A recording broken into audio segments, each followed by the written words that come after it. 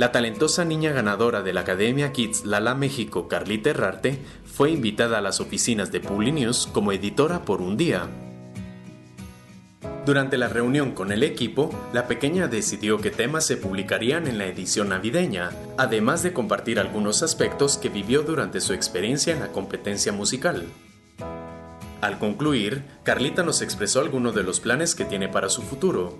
Aunque los retos y los sacrificios son grandes, ella tiene muy claro qué es lo que quiere. La pequeña talento dijo que la decisión más difícil es la de irse a vivir a México el próximo año, pero aseguró que es la mejor opción y que planes grandes vendrán.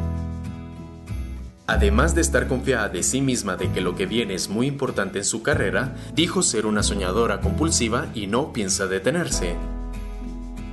A Carlita le espera una muy importante y fructífera agenda desde los primeros días del 2015 en el país norteamericano.